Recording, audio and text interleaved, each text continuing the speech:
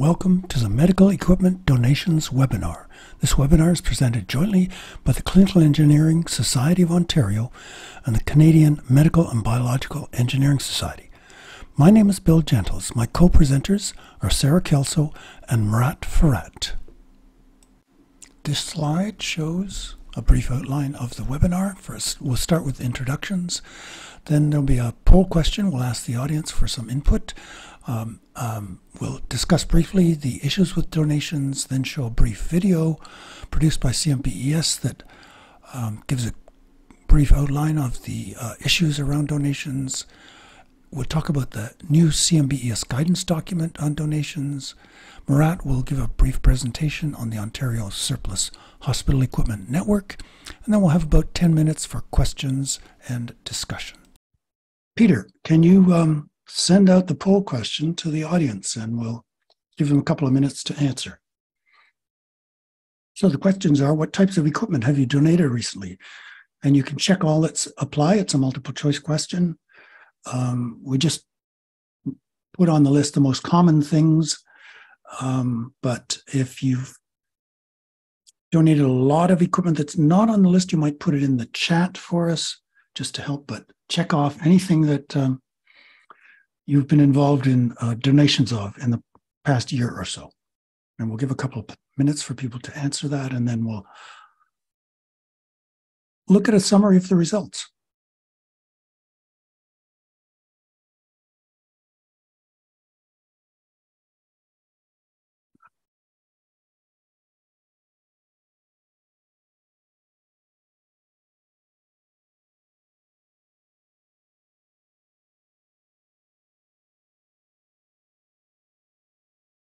See some comments here? None, not in good enough condition. Fridges and freezers. Yes. Incubators.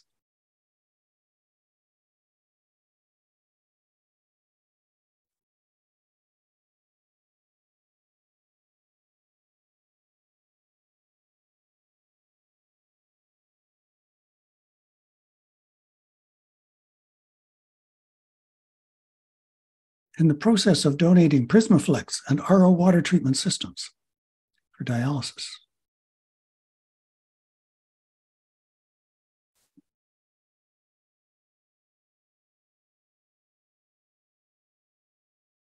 Some people are saying they have not donated. Just one house, housekeeping issue. Um, we'll be having a Q&A at certain times, so you can ask your questions then. Yeah, there's a Q&A button at the bottom of the screen. Um, you can ask questions in the chat, but we're able to manage them better if you put them in the Q&A uh, feature rather than the chat feature of Zoom. Thanks. Only some patient monitor accessories.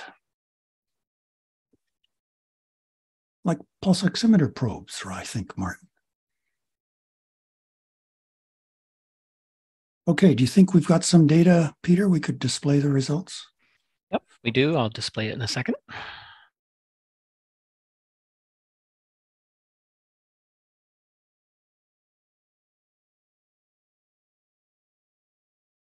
Okay, so the most common, that's not surprising actually, the most common is beds, followed by patient monitors, infusion pumps, ultrasound machines, small number of x ray units, and some dialysis units, but a lot of other, as we saw in the comments. Anyway, that's that's most interesting, and um, perhaps um, it'll raise some questions as we talk some more about the um, the, the pitfalls of making equipment donations to low resource countries. Okay, moving right along onto the next slide. Um, see if I can get this to change slides. Okay. so just some of the sources we're uh, using for information to um, present in this webinar. There's um, three key documents. The first is a med, uh, WHO Medical Device Technical Series document called Medical Device Donations, Considerations for Solicitation and Provision. This is available on the WHO, WHO website Um, I'm going to put the link to that in the chat. Let's see if I can do this. Uh, okay. That's a link directly to this document. It's a PDF document and it'll allow you to download it.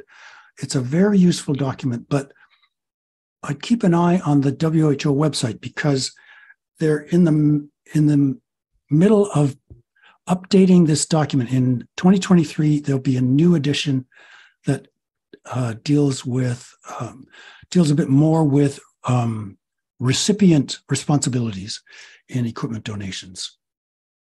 Second thing we're going to be uh, using as an information resource is a study that was conducted um, by the International Outreach Committee of CMBES between 2015 and 2017, in which we um, surveyed 41 donation organizations across Canada to um, inquire about their donation practices.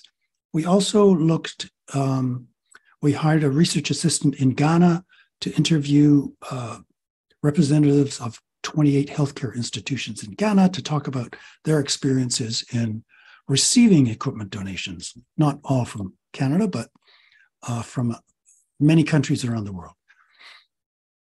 And the third document, um, which we'll talk more about a bit later, is the new CMBES guidance document on donations.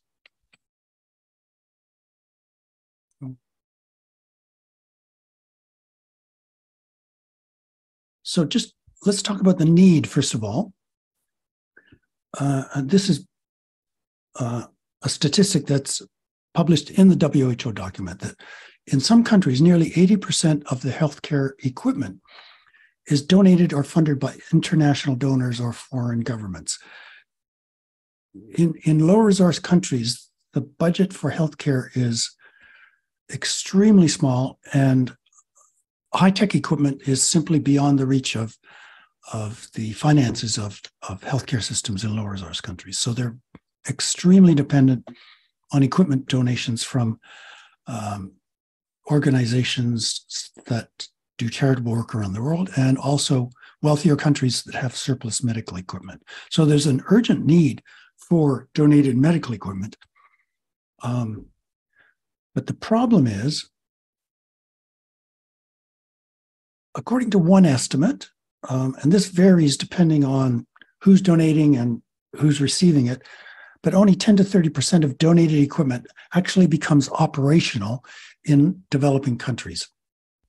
And we'll talk about the reasons for this, but it, it's, um, it's a rather troubling statistic that indicates that there's a very high failure rate in the um, donation activity around the world. And many people are not managing the equipment donation process properly. As a result of which, they're placing an undue burden on these low resource countries by sending them equipment that they can't use, and it ends up in equipment graveyards. We'll show you some pictures of those a bit later. Um, goes to landfill sites in the low resource countries. So we've spent all of that energy, all of that funds, loading up shipping containers, sending them uh, halfway around the world, getting them to a healthcare institution that can't use the equipment. If all of the money spent on those logistics were just donated to that country, they'd be much farther ahead in their healthcare system. So there's a, an extremely important incentive for people to get this right, because otherwise you're placing, instead of helping, you're placing an undue burden on the recipient country. So the problems with equipment donations. Um, in our study, as I said, we looked at 41 organizations, um, both registered and non registered charity, NGOs, not for profits, medical clinics, and hospitals.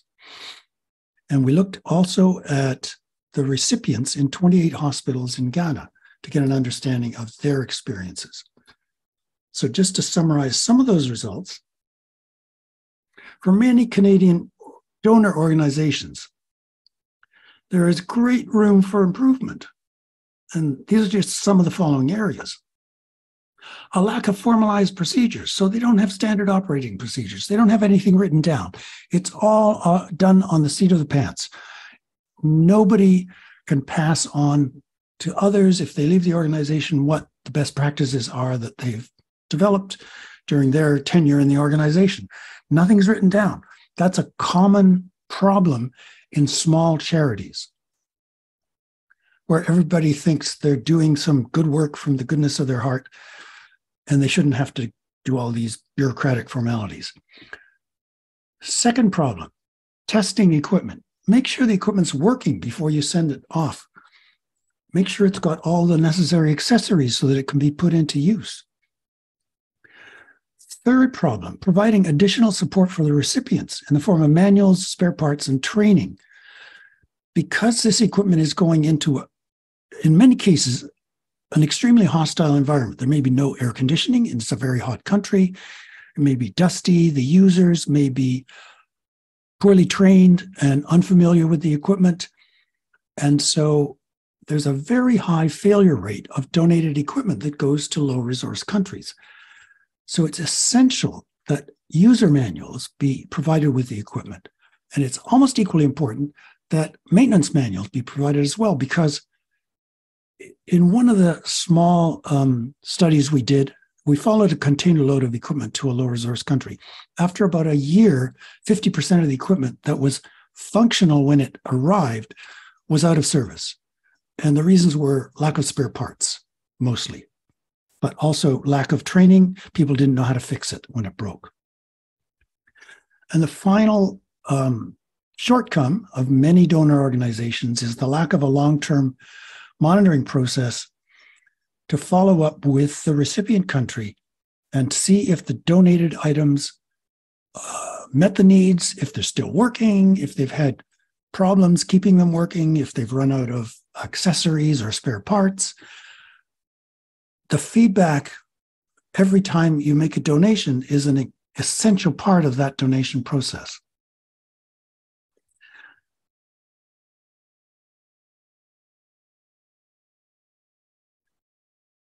And so, just talking about briefly about the recipients, the most common challenges faced by the recipients were a lack of spare parts and a lack of operating or service manuals.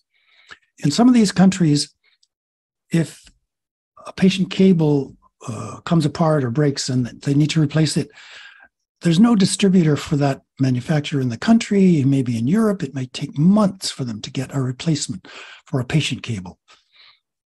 So it's important to send as much in the way of accessories as is possible. Now, as the next item on the agenda, we're going to show um, a brief video that talks about best practices in um, donating equipment. so I'm just going to see if I can start the video. It'll just take about seven minutes.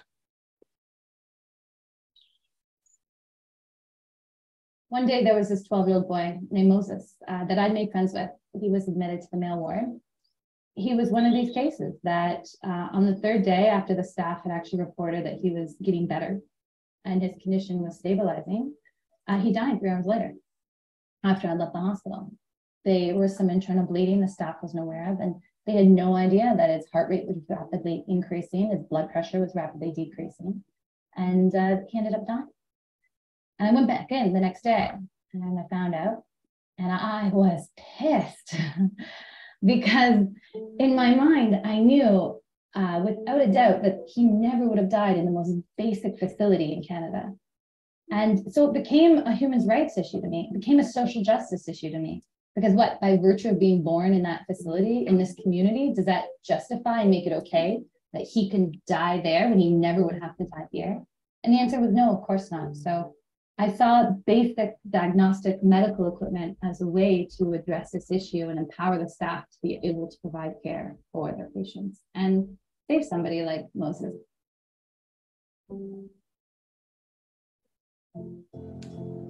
Kelly's story is not unlike the countless told by dedicated volunteers and organization leaders across Canada who have created special projects, charities, and nonprofits to address crucial medical equipment needs around the globe.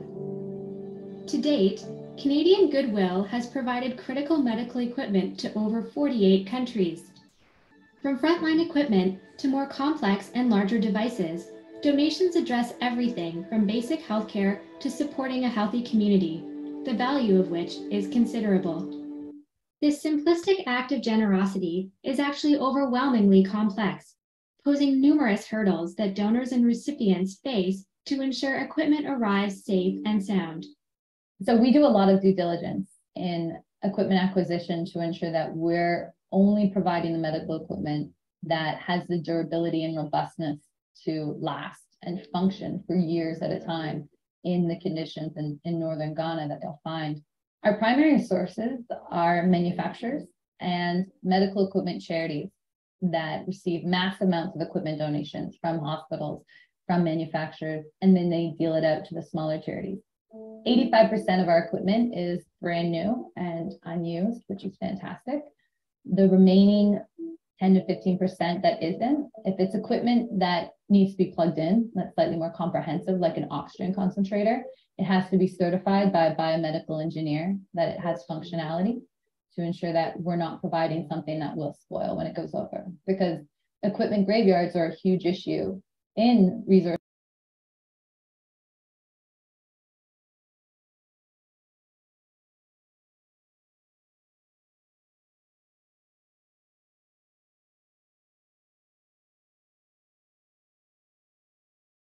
process, often blockading hospital floors, creating landfills, and placing undue pressure on a system that is already heavily taxed. Too often, the majority of this charitable act goes to waste. Donating poorly functioning equipment at the outset is one of the reasons that donations can go awry. Research has shown that Canadian organizations often fail when it comes to inspecting equipment and checking for compatibility of electricity supply. When donations are received, few organizations ask for confirmation that the equipment arrived in working order or are provided status reports on the functionality of the equipment over time. Donating equipment that isn't truly needed can also lead to poor outcomes. I think it's immensely important to stick to the research that you've done. So even though we have offers of all types of items, sometimes expired, sometimes not, it's extremely important to still say, you know, these are the research items that we know are the most needed in our hospitals. And going away from that means you're going to be providing things they don't really need and they don't have a way again to safely dispose of. It's easy to fall into this top down donor approach where you have a lot of sources of medical supplies and you're looking for a place to give them. And I don't find that's necessarily the most effective way because then sometimes you're projecting somebody's needs for them and that can create errors in the impact your project is going to have. So with all this generosity and support to nations around the globe, how can Canadians improve? How can we strengthen a system that has tremendous impact on a person's health and a community's sustainability? Ideally, any donation initiative should be part of an ongoing partnership consisting of three core elements. Consultation, ensuring that the needs of the recipient are well understood and have been established through a consultation with all parties involved. Planning and process, having a clear donation plan identified and agreed to in advance by all stakeholders. Monitoring and follow-up. Perhaps the most important element is a sustained and supportive relationship with the recipient institution, ensuring long-term success and impact. I think it's important to work with a researcher if it's possible, because they'll just ask questions that maybe you're not used to thinking of. Um, and they'll keep you in check to ensure that the projects are meeting a sustainable end or are reflecting an expressed need, that you're not targeting things and slipping into what's easy. Teaming yourself up with other individuals, other corporations that are critical and that are always going to try to make your projects as strong as possible is always a sure bet to uh, success. For more guidance on all of the steps involved in an effective donation process, several online resources are available, including the World Health Organization's guideline document and the Tropical Health Education Trust Making It Work Toolkit. Because what starts as goodwill and a desire to make things better should ultimately create an equally promising outcome.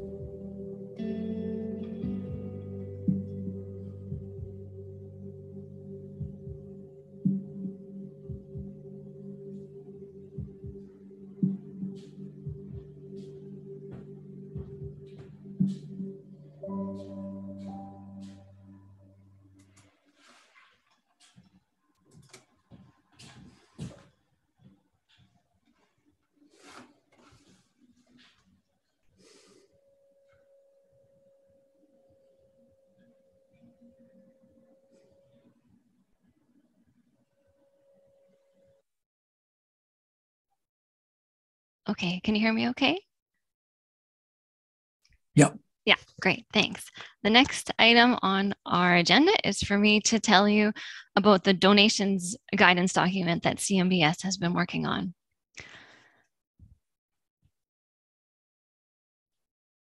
So first, a little background on the project.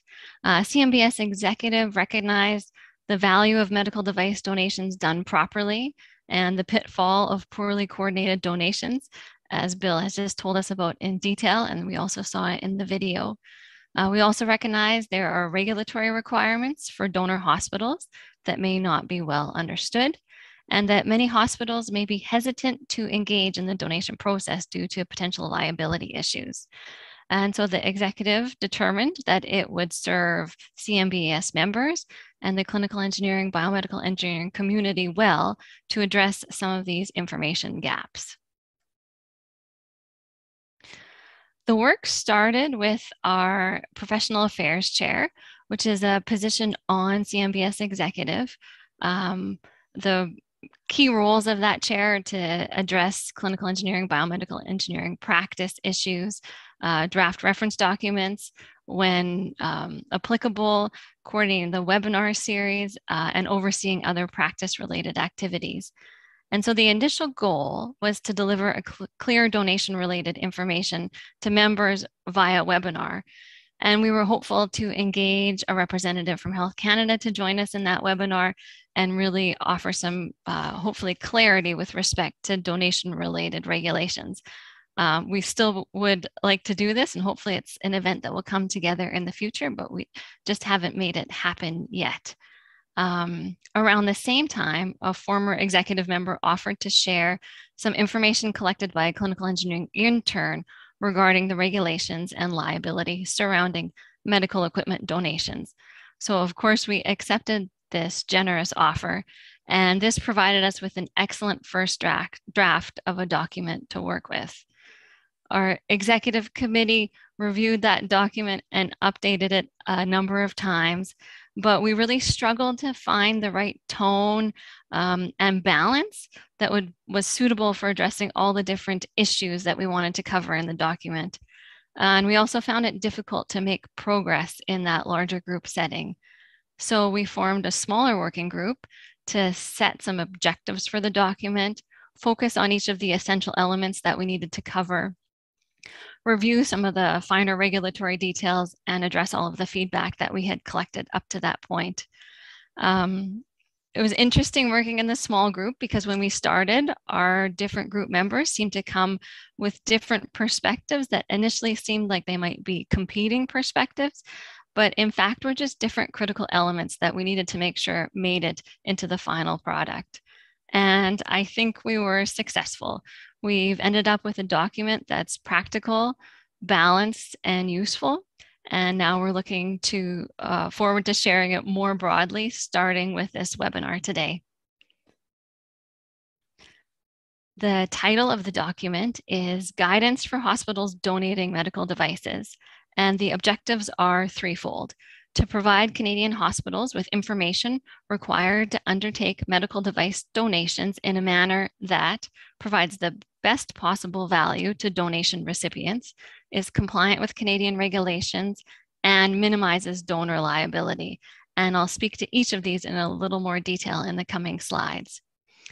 Uh, the document is not intended to be legal advice or a position paper, but rather to support hospitals who are considering medical device donations by providing a summary of the relevant information that they should be aware of through the donation process. So the first element is the collaboration piece. Um, to ensure we are providing value to donation recipients, it's vital that the donor engage with the recipient to confirm that the devices to be donated will meet the needs of the recipient and that the recipient has the resources to operate and maintain the equipment. And we certainly have touched on the, these um, elements already. From a practical perspective, this means that the donor hospital, as much as possible, should include any supporting materials available in their shipment. This could be user or technical manuals or training guides if available, also including any remaining spare parts, parts or test sets that are required for maintaining the equipment. And from a clinical perspective, um, also donating any accessories or consumables that are available. A donor hospital might not know how to connect with the recipient organization, and there are third party groups that, that can help with this. There's organizations that can facilitate donations or facilitate connecting uh, donors with recipients, and we'll hear more about one of these uh, later in the webinar. As far as regulations go, there's two elements to the Canadian regulations that we need to be aware of. And the first one is the hospital taking on the role of a distributor. So many of us are aware that the sale of medical devices is regulated by Health Canada under the Canadian Medical Devices Regulations. And Health Canada considers a donation as a sale without consideration. In fact, Health Canada considers anytime a device changes ownership as a sale, even if it doesn't look like a traditional sale. Uh, hospitals are actually exempt from the need to hold an establishment license. So we don't need to go through the application process to get an establishment license or play, pay the associated fees. However, hospitals still need to comply with the requirements of being a distributor. Um, and for the most part, this means keeping distribution records, which is essentially contact information for the future location of each donated device, sufficient that the hospital can forward any alert or recall information, or permit com complete and rapid withdrawal of the devices from the marketplace if required. Hospitals also have to have a complaint handling process sufficient to carry out an investigation into en- any problem that may be reported back to them from the donor um, organization. I'm sorry, from the recipient organization. The second part of the regulations that we need to pay attention to relative donations is active device licenses. So the regulations say no person shall import or sell, and now we know that sell, the definition of sell includes a donation, a class two, three, or four medical device unless the manufacturer of that device holds an active medical device license um, for that device. And this can be an issue because sometimes devices that are uh, mature in their life cycle, um, the manufacturers will just decide not to continue maintaining the active device license. Um, so if you are considering donating a device and you're not sure if it still holds an active device, device license, you can Google MDALL and you'll arrive at the Health Canada Medical Device Active License listing. Sorry, Medical Device Active License listing, uh, which is a reasonably searchable database of all active medical device licenses. This requirement does not apply to class one devices, which never require a medical device license, or donations intended for veterinary use only. And the final element that we cover in the guidance document is to minimize liability for the uh, donor organization. Most of the information that we have here comes from HIROC, uh, which is the Health Insurance Reciprocal of Canada. It's a not for profit healthcare safety advisor and the primary insurance provider for healthcare facilities across Canada. Um, and they have a really good um, resource on their website where they provide detailed guidance for hospitals to minimize their liability when donating, which includes uh, complying with all Canadian regulatory requirements, which we've just covered, uh, and also providing de detailed documentation for each donated device. And uh, the list of what they think should or, or suggest should be included is quite um, extensive, including serial number, model, manufacturer, license status, history of all PM repairs, alerts and recalls, and corrective actions taken over the life of the device, all inspections, tests, and cleaning performed at the time of donation, and a statement of the condition of the device at the time of donation. They also strongly encourage the use of a liability waiver, uh, which is a document signed by the donor and the recipients intended to waive the rights of the de device recipients to seek compensation from the donor if there are any future problems with the donated equipment. And in our guidance document, we actually have two tools in the appendices, uh, the first of which is a sample waiver document, uh, which uh, was based on a waiver document used by a Canadian hospital. And the second tool we have in the appendices is a donation checklist, which essentially covers all of the requirements that we've listed in the document, um, but in an abbreviated checklist form to hopefully facilitate consideration and compliance with the requirements. Also, at the end of the document, there's an excellent reference section, which includes links to that HIROC document I just mentioned, uh, as well as the WHO document Bill mentioned previously, um, and some other good resources. Um, so in conclusion, uh, many of the factors that we've discussed today are going to help a hospital decide whether or not to engage in the donation process, in addition to the hospital's own level of risk tolerance. Uh, what we wanted to do was provide uh, objective, factual information that hospitals can use to make the decision that best fits their organization. And if they decide to donate used medical equipment, to do so in a way that provides the best value to the donation recipients, is compliant with Canadian regulations, and minimizes donor liability. As far as next steps, following this webinar, CMBES will share the full guidance document with CMBES members and CESO members by email and we'll open a member review period of two weeks, uh, over which time we're happy to accept any uh, comments or feedback at our secretariat at cmbes.ca email. And then once we've had a chance to consider all of that feedback, we will publish the final document on the CMBES website.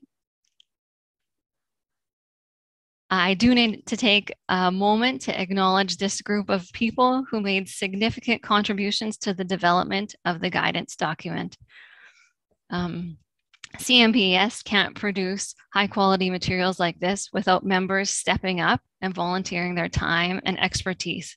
So thank you and merci to all of them and all of you for your time and attention today. And now I'm going to pass the screen to Murat, who will tell us about the Ocean Initiative.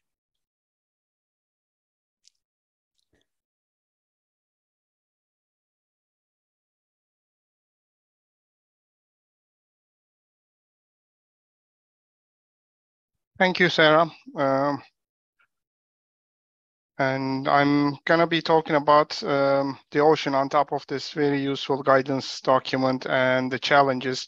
Um, ocean is, let me change the slide. Okay. Um, ocean is short for Ontario Surplus Health uh, Hospital Equipment Network. And uh, I want to be clear, even though there is a word of Ontario in the title, there is currently no active collaboration with the Ontario government, unlike the Quebec, there is because uh, there is no centralized surplus, surplus hospital equipment coordination activity in Ontario. So CESO uh, thought there is a need and uh, Ocean is a CESO project. And I will start first acknowledging the team behind the Ocean. Um, the concept, the website, and the process was developed by a team of volunteers. Some group of same group of CESO volunteers are now running and maintaining the ocean since 2020. Adil Alam, Sajid Almaki, Murat Firat, Bill Gentles, and Timu, thank you for their help. Um, ocean has been a really low budget uh, initiative. Um, I think it cost us about, uh, not including the volunteer time, hours of volunteer time, uh, about $100 to initiate. Uh, and now it's costing just the cost of website, running the website at the moment. Now, having said that, there hasn't been a, a very high volume activity, which I will talk about it later. So our mini poll results show that many of us get involved in donation of surplus hospital equipment. And we all know that properly done donation require considerable amount of time and effort.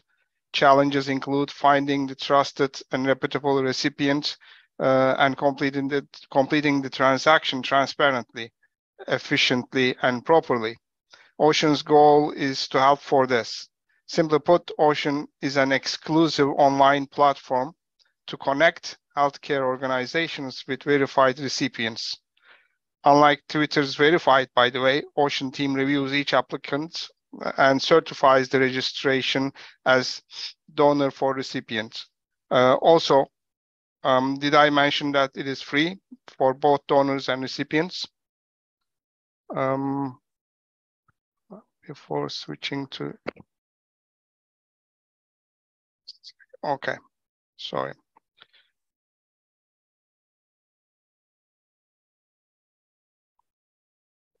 Um, Ocean is neither a donor nor a recipient. As I mentioned, uh, it is a platform enabling donations. Doesn't get involved with the actual donation transactions. We may say that Ocean is an exclusive and focused Kijiji for medical equipment and furniture. And uh, like a transparent tender platform, hospitals will have the ability to offer their surplus equipment and donate them to the trusted organization which is suitable for their own criteria. The goal is to create exclusive trusted network for healthcare facilities and trusted recipients. Usually when hospitals acquire new equipment and furniture, the priority is to get the new equipment implemented and remove the old equipment efficiently. We don't have the storage. Storage is a premium in the healthcare facilities. We all know that. And uh, at that last moment, if we didn't made already connections and plan for it, uh, we need a recipient at that moment, and they need the they need to come and pick up the items as fast as possible. So, from recipients' perspectives, uh, potential recipients really appreciate the, the knowledge of available equipments for donations. And Ocean's goal is to fill the need for both hospitals and recipients, one-stop shop for all. So what you're seeing here is the uh, after the recipients log in, they see this screen. Um, by the way, there are currently 27 verified and registered donor and recipient organizations. And um, I think Ocean team rejected seven applications um, because they didn't fit into the, our criteria uh, as experienced not-for-profit uh, or hospital uh, criteria within that. and as earlier uh, I mentioned earlier, this review process really maintains the exclusive, trusted, and verified platform for all Ocean users, so that they don't have to worry about that aspect of the transaction. We have several categories in the available items and uh, the donor, oh, sorry, recipient can click one of them. And when, for example, when the recipient clicks the electromedical equipment, they get to see whatever available at that moment, and they can dig deep, uh, click the pictures, and see the information posted by the donors, and then have the ability to contact the donors and provide their intention to pick them up uh, and either donate them to third world countries uh, um, and or or sometimes the recipient could be a hospital who wants to use them as spare parts. Um, so Ocean is not just limited to donations, by the way. It's open to the hospitals sharing their um, surplus equipment for parts as is purposes or even sell them. Uh, this is what the um, donors see. And as you see um, from the picture, uh, it kind of looks like a Kijiji. It's it's uh, um, e-commerce product uh, offered from a company called Sellacious. Sellacious. We simply customize it for Ocean's uh, um, use. And so you will see some terminology um, towards selling, buying items online, um, and um, posting from the donor perspective is quite easy. Uh, you just fill a few fields, uh, mandatory fields, and you can put as many pictures as you like. You can even put a fee if you want to sell the equipment, uh, considering you're from a hospital or you're complying with the uh, regulatory requirements as uh, indicated by Sarah's presentation. And then um, the potential recipients will see what's available. They will get in contact with you. Uh, since they are all trusted and verified, you can uh, very comfortably communicate and proceed to the transaction. Uh, despite its small budget and limited resources, Ocean is up and running, ready to serve Canadian and global healthcare. Ocean is still in infant stages, by the way, and I believe our timing has been a bit unfortunate considering the pandemic. So the utilization of the platform is very low at the moment. Uh, we hope it will eventually pick up if there is actually a need that Ocean effectively fulfills. And that takes me to the last slide. And looking at the time, I think we have more than enough time for questions. I ended up going through really fast to, through my slides. Um, these are the contact information of the um, the presenters of the session, as well as the organization information, including CMBES, CESO, and Ocean. So we can switch to questions and Q&A. Um, Bill, back to you. Okay, thanks, Murat. Um, we have some questions in the um, Q&A. And so maybe the panel can all turn on their cameras and microphones because we may need feedback from everybody on these. Oh, yeah. But um, so the first one, Anders Engstrom. Hello, Anders. Anders, nice to hear from you. Um, his question In my experience working in lower resource countries and issues with donations, number one, North America 110 volts, as essentially all recipients are 220 volts. Solution convert to 220 volts before sending. That's um, and be aware of the voltage of the country you're sending it to. Um, a very good point. There's a lot of equipment goes up in smoke because it's been sent to a country without uh, paying attention to the voltage. Number two, um, Pumps such as dialysis pumps or infusion pumps use disposables that are in most cases not available in the recipient country. Yeah, this is a big problem with infusion pumps that the way the um, manufacturers make their money is on selling the consumables that go with it. Low resource countries can't afford those consumables. So an infusion pump should only be sent if it can use uh, a generic infusion set. Number three, send user manuals. Well, yes, exactly. We already all agreed with that. Uh, second question, I'll throw this over to Sarah, perhaps. When the recipient institution is not in Canada, does the hospital need a distributor license?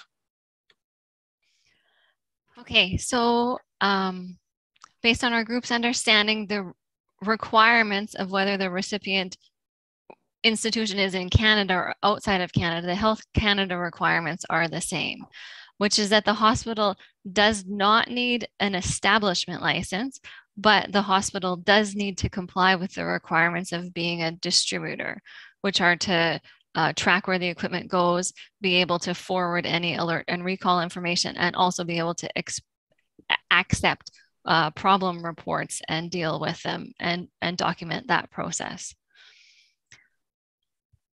I hope that answers the question. Thanks, Sarah. Um, third question from Martin. Uh, do you think Health Canada classifies the donation of parts for medical technology? Um, boy, that's an interesting question. I I'm not sure I know the answer to that. Um, I think they're only interested in devices that are actually licensed. I would add, I guess it depends if the part is considered a device or if it's just a repair part. Like if the part is in fact an accessory that holds a device license, then I think Health Canada would consider that as the donation of a medical device. But I'm not sure if it's a repair part, how they regard that.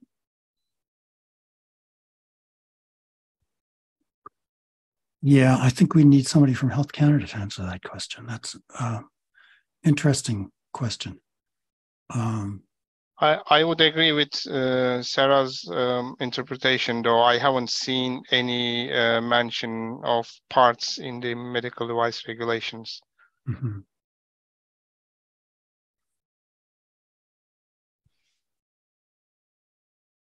Next, let's go to the next question. Um, from Jennifer McGill Has there been success getting shipping covered by recipients of donations? That's um, that's an interesting question because the shipping costs are often a considerable fraction of the total co- value of the uh, the shipment. Like a a shipping container to send um, across the ocean, I think the costs are around ten thousand uh, dollars. Recipient countries typically don't have that kind of money. Um, I'm not aware of anyone. Perhaps if you've anyone in the audience has information on that, they could put it in the comments. But um, in most cases, charities who are donating equipment overseas their biggest challenge is is funding the shipping costs uh, because the recipients in most cases could not possibly pay for those costs. Question from Martin Has anyone in Canada set up a process for distribution record tracking? Murat, I don't know. Maybe you could try and tackle that one. It's a bit like ocean, but not quite. Um, unfortunately, I haven't heard uh, anyone trying to tackle with that. I don't know, uh, um, other than knowing centrally what would that really help to. Uh, having said that, if one day our vision is if ocean becomes a widely used network, the information will be readily available for the member hospitals or healthcare uh, members of the ocean. Uh, but at the moment, I'm not aware of such a um, setup.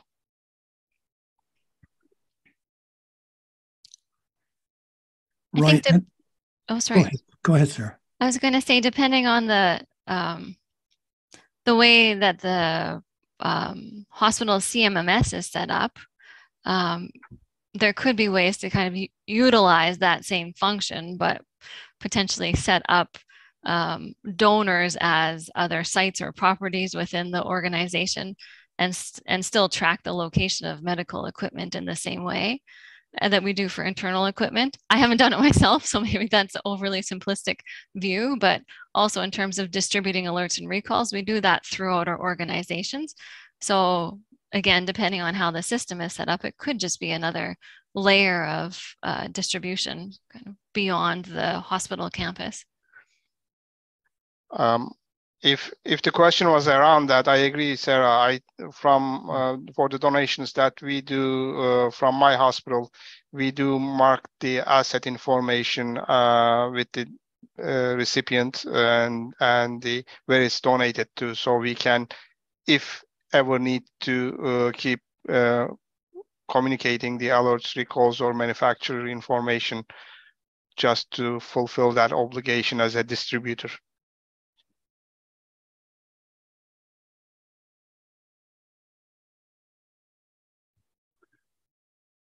Next question Do you know of any hospitals that have complied with the requirements of becoming a distributor? Um, the requirements to become a dis- you don't need the establishment license so that's the first thing um, but beyond that um, as we've discussed before it, most of the requirements can be um, met by keeping the data in your CMMS um, and just regarding the recipient as another site so that they would receive um, any notifications um, about that equipment. Uh, Sarah or Murat, other comments on that? I agree. I think it's uh, with this presentation, we're trying to raise the awareness that uh, uh, for hospitals, since you don't need establishment license, all you need to do is uh, don't delete the asset record and make sure the alert recall distribution, if ever happens for those items, uh, fill, fill, you know, or happens as usual with the rest of your assets, and you communicate the information with the area that you distributed to. Now, having said that, the question I can't answer, and I don't know what happens if you donated that equipment through a charity to a third world country. I don't think hmm. you need to distribute that alert or recall information or manufacturer's letter to outside the country. Uh, it should be within the Canada. That's my interpretation, but we need to find out actual answer from Health Canada, I guess.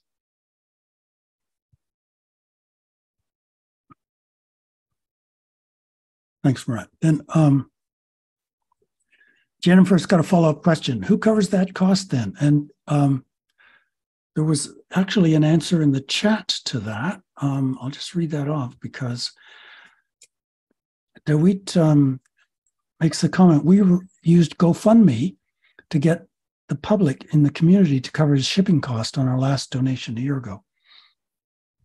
There is a charity in British Columbia called Rotary World Help that does a lot of shipping overseas, and they use their own fundraising um, mechanisms to fund all of their shipping containers. They sh- ship quite a few shipping containers every year. Um, so it it is a significant cost. Um, Parisa says she has a case where a recipient paid for the shipment. That's quite unusual, but it, I guess that's an example that proves that it it it uh, can happen in some cases.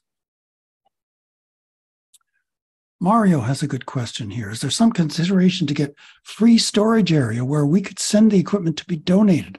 Our hospital keeps asking us to get rid of the unused equipment. Yeah, storage space is very tight. Um, Murat, do you want to try and pick up on that? Yes, uh, I I think that would be wonderful. I totally agree with Mario. And uh, but how I see that happening at this moment, there is no initiative. This is a, a more centralized uh, governmental practice, almost like the similar program in Quebec, uh, where uh, government collects the um, donatable, usable surplus equipment from hospitals and uh, coordinate accordingly. Um, maybe one day, if again ocean picks up uh, and if there is a need, uh, we plan to uh, collaborate with Ontario government uh, towards that direction. At the moment, I'm not aware of any other province other than Quebec doing that kind of service and coordination.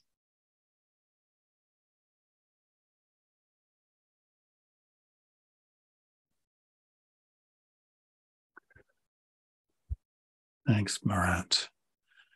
Um, let's move on. We've got a couple more minutes. Um, Martin makes a comment maintaining distribution records and expecting our old slash out of support technology to be licensed are barriers to donate under the regulations. Um, that is a requirement under the regulations that you must, um, you should not be, uh, quote, selling anything that doesn't have a medical device license from Health Canada. And if the manufacturers let the license expire, strictly speaking, you should no longer be donating that device. Um, Murat, over to you. Oh, sorry, I clicked the link um, button by mistake, Bill. You're answering it already. Sorry. Okay. okay, I didn't know there was a, right oh, answer live button. Yes, I see. And Anders comments most recipients don't have a data entry system where they can track the equipment in their country. Um, good point. Uh, once it arrives in a low resource country, there may be no records kept as to which hospital it ends up in.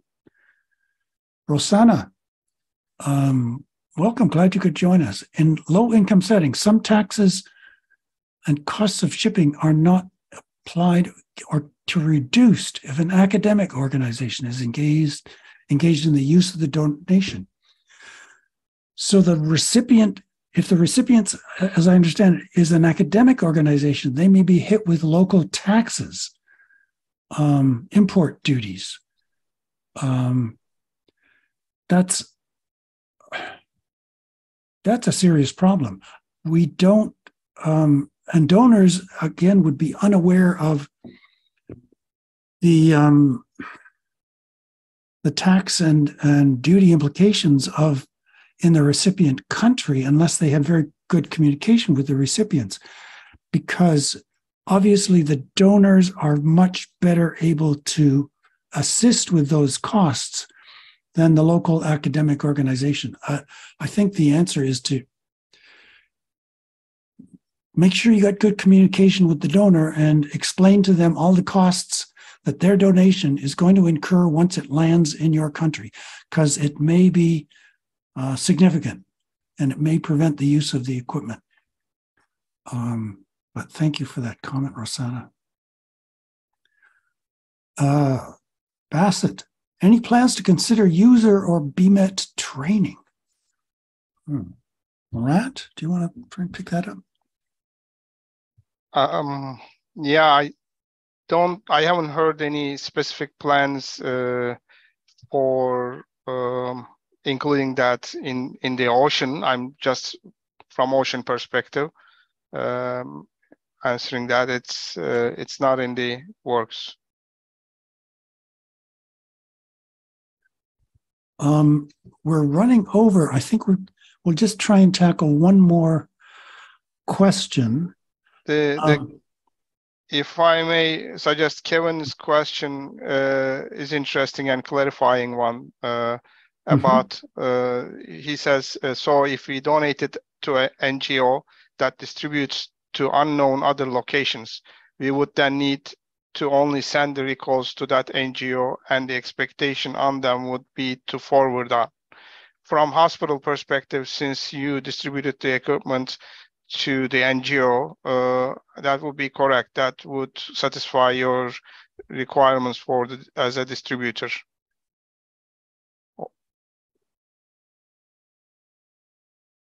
Would you agree, Sarah? Yeah, I agree. Mm-hmm. I agree. And there's a quick one here from Krita. Is there any concern if the license of the device becomes not active after the donation? Um, nope. I think they're, nope. yeah, no. The device license is an issue at the point of sale. So if um, if once the donation changes or, or once the device changes ownership, um, the device license could um, expire the next day. That wouldn't affect the hospital's um, obligation because they would have maintained that the device was in place at the time of uh, change in ownership.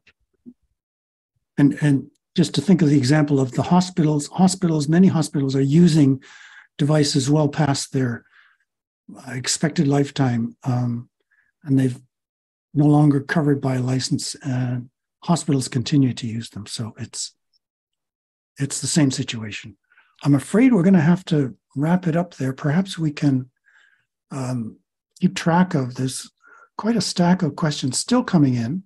Um, we'll try and answer these offline. Um, so um, uh, we'll figure out how to distribute them to the registrants. And um, thank you all for attending the webinar. That's been great and wonderful to see so much um, interest in the topic from Canada and outside the country. So thanks, everybody, and bye for now.